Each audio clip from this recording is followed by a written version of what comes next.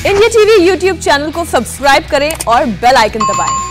अफ़गानिस्तान पर तालिबान के कब्जे के बाद पहली बार भारत के विदेश मंत्री एस जयशंकर की तरफ़ से बयान आया है। जयशंकर ने कहा कि हम अफ़गानिस्तान के हालात पर बहुत करीब से नज़र बनाए हुए हैं। फ़िलहाल हमारा फोकस अफ़गानिस्तान की सुरक्षा और वहाँ रह रहे भारतीयों की सुरक्षित वतन वापसी है। जयशंकर ने कहा कि अफगान लोगों से रिश्ते हमारे जारी रहेंगे। नमस्ते, मैं हूँ मीनाक्षी जोशी।